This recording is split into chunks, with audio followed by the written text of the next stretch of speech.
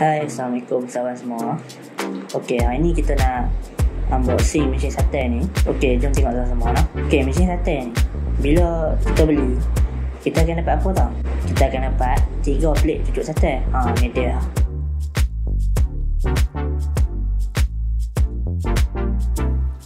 Okey, okey, jom kita sambung Buka lah wrapping ni.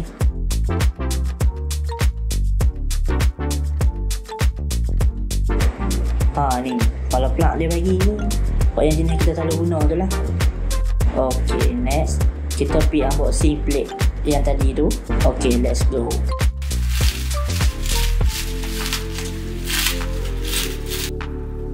Okay, dia ada bagi pembaris untuk ukur berapa banyak isi yang dia nak letak kat plate tu lah.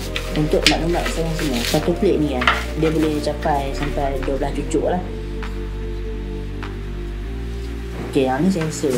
Fungsi sensor ni apa? Fungsi sensor ni, dia untuk detect. Tu, tolak lidi nanti ni. Ni pula, ha, ni pula adalah kompresor. Ha, kompresor ni fungsi dia apa?